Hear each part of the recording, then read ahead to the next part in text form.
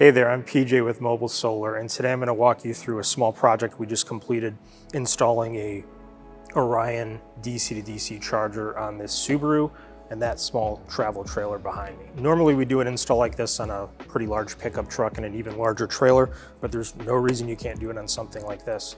And a small trailer like that isn't gonna be able to have a ton of solar panels. Um, and when they're traveling light, may not wanna tug around a generator with you. So being able to charge off the car itself is kind of a cool thing. So we'll start here at the front and kind of work our way back to show you what we did. Um, overall, it's pretty simple. We just need to um, connect our wiring to the battery here. That's where the, the actual source of power is going to come from. Um, as you can see here, we've got an EGIS breaker.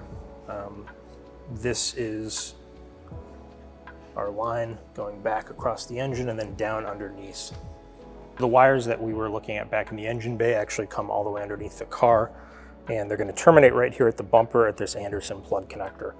Um, and you'll see here, connected to the trailer, we have this cord which is going inside to the Orion on the next to the battery. This is going to plug right into the connector right there.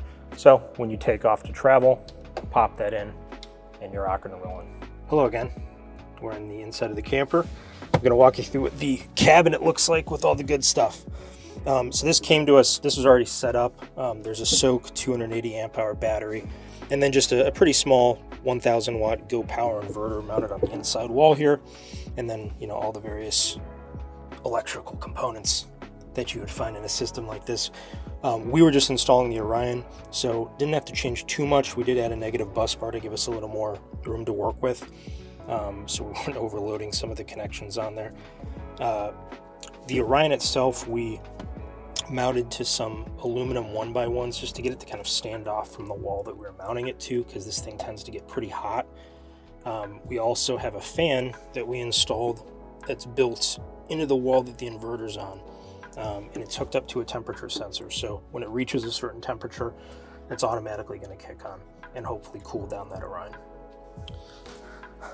So not every project we do, as you can see, is some huge installation on a 45 foot fifth wheel. We do stuff on smaller rigs like this all the time. So if you're looking for just a simple DC to DC charger setup for your rig, big or small, give us a call.